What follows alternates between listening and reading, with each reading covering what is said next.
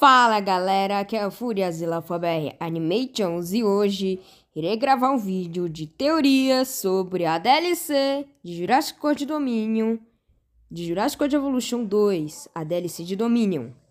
Então bora lá.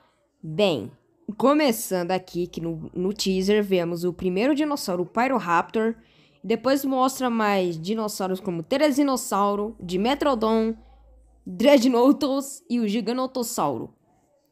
Parece uma skin, mas eu acho que pode ser uma remodelagem ou uma skin.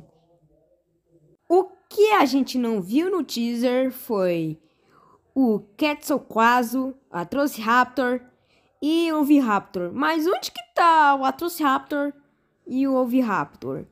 E o Quetzalcoatl?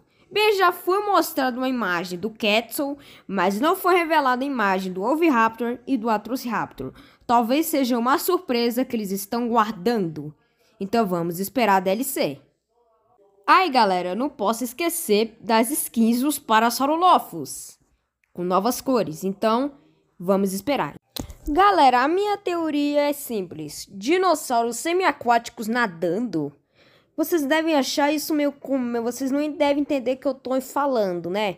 Então, eu vou explicar. Não, o, tem dinossauros semiaquáticos como o Baryonyx, Espinossauro e Sucumimus. Mas eles não, não nadam no jogo. Só os, os, anima os répteis aquáticos, sim. Só os répteis. Mas será que vai ter essa modificação de semiaquáticos nadando? Então só vamos ver na DLC. Ah, mas Fúria, cadê os filhotes?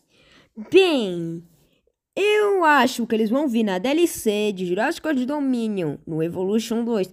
Mas por que não colocaram no Evolution 1?